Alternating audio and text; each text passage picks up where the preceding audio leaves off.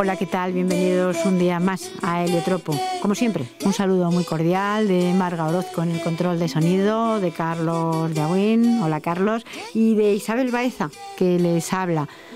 Hoy vamos a hablar de una persona muy especial.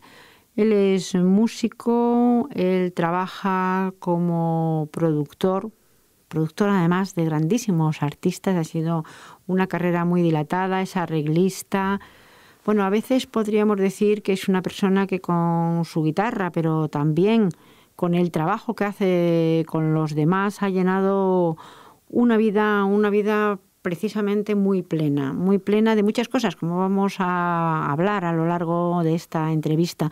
Me refiero a José Antonio Romero. José Antonio Romero es todo esto que hemos dicho y lo es además desde el principio prácticamente. Su trabajo ha sido ese y además de una manera muy autodidacta, porque ya veremos que no tuvo un gran apoyo familiar en principio. Lo primero, bienvenido. Encantado de estar aquí. No es fácil empezar, y sobre todo no es fácil empezar como empezaste tú, tan joven.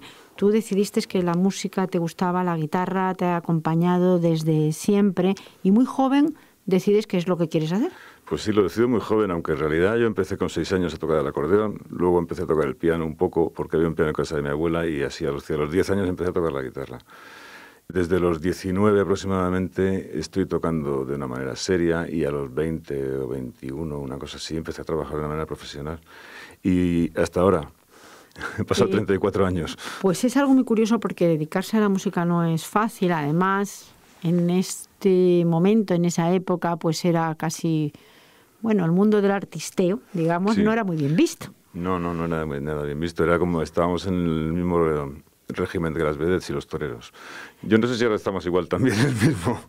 Yo creo que más o menos, pero en fin, entonces era más difícil sobre todo en la familia. Sí, sí, en la familia tuve realmente un encontrazo porque no se podían imaginar que se pudiera vivir de esto, ¿no?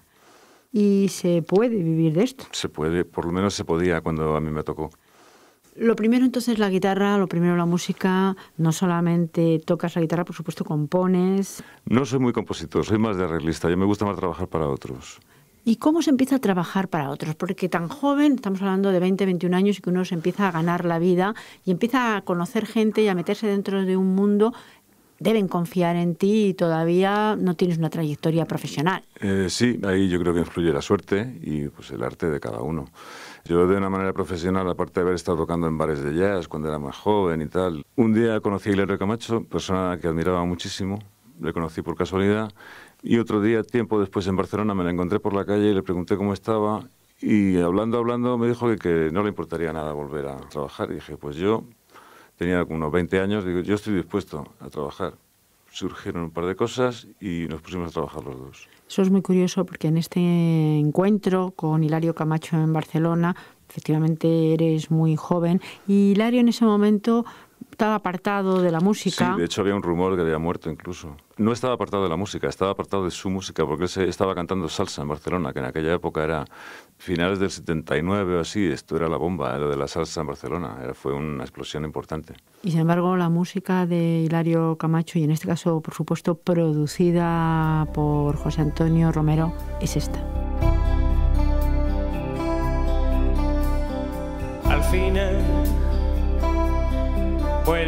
La vista atrás. Fue tan cansado el largo viaje, tan pesado el equipaje para llegar aquí. Perdido en la ciudad, soy prisionero en una calle, sin farolas, sin portales donde esperan que nazca de nuevo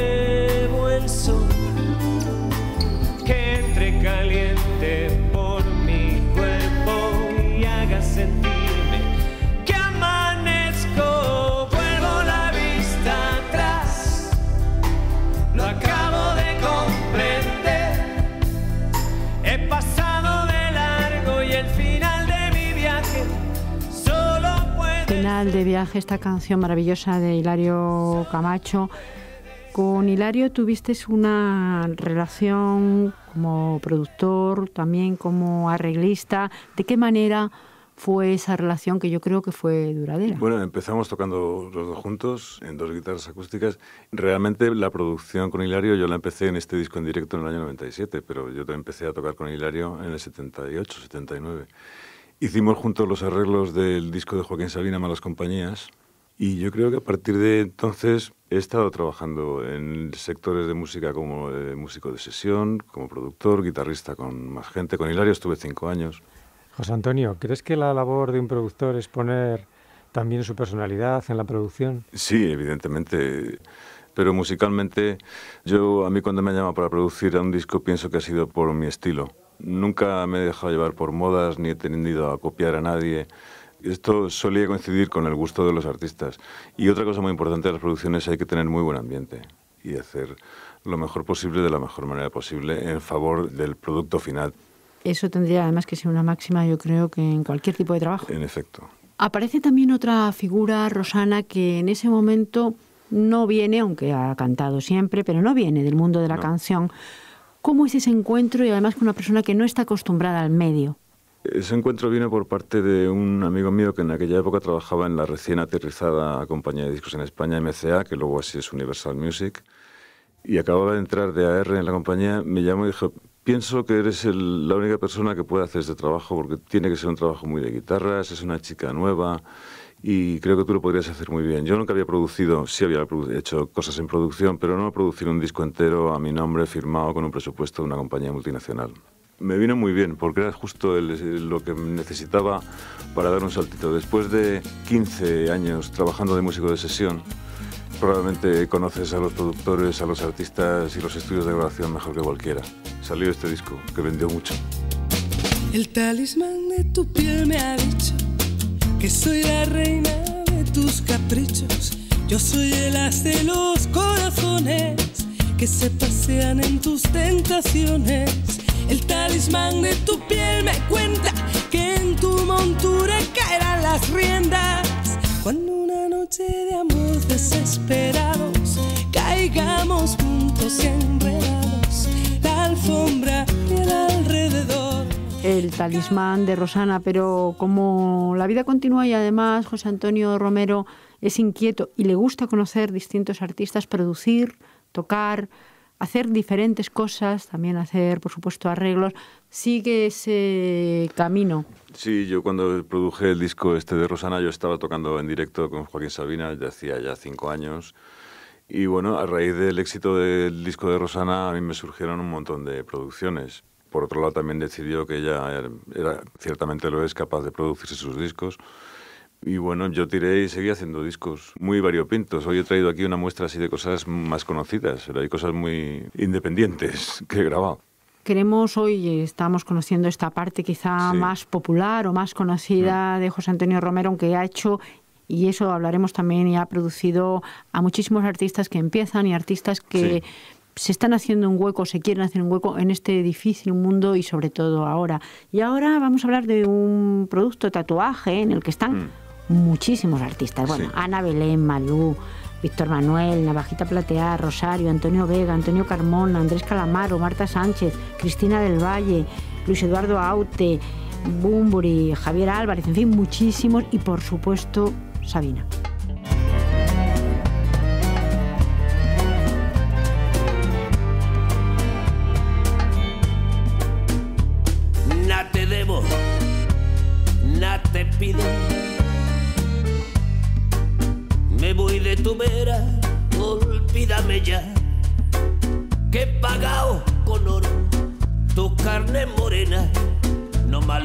Vaya, que estamos en paz. No te quiero, no me quieras. Si tú me lo diste, yo nada te pedí. No me eches en cara que tú lo perdiste, también a tu vera yo todo lo perdí.